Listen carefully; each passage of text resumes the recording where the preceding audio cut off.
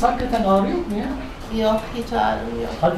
Bolu'da hizmet veren özel bir hastanede görevli genel cerrah operatör doktor Sedat Sadal tarafından İboyka Keskin'e 3 ayrı ameliyat aynı seansta yapıldı. Safra kesesi taşı, mide fıtığı ve reflü hastalığı ve hemoroid yakınmaları nedeniyle başvurmuştum. Safra kesesi taşı, mide fıtığı ve reflü hastalığı ve hemoroid şikayetleriyle operatör doktor Sedat Sadal'a başvuran İboyka Keskin, aynı seansta 3 operasyona rağmen kendisini iyi hissettiğini söyledi. Dün ameliyat oldum. Üç tane ameliyat oldum.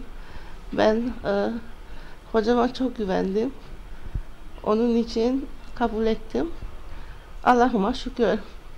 Çok teşekkür ederim. Kendinizi nasıl hissediyorsunuz? Çok iyi hissediyorum. Çok iyi.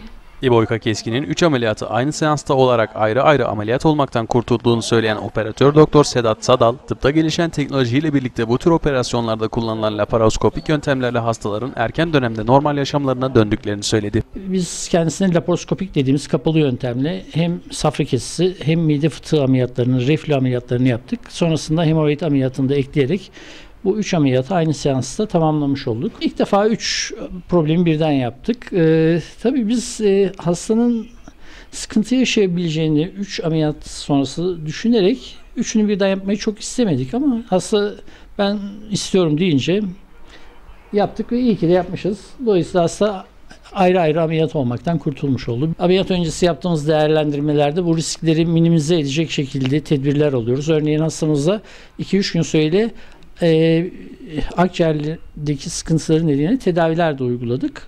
Onların akabinde aldık. E, bütün bu tedbirleri aldıktan sonra süre biraz uzamış oluyor ama ciddi bir risk oluşturmuyor.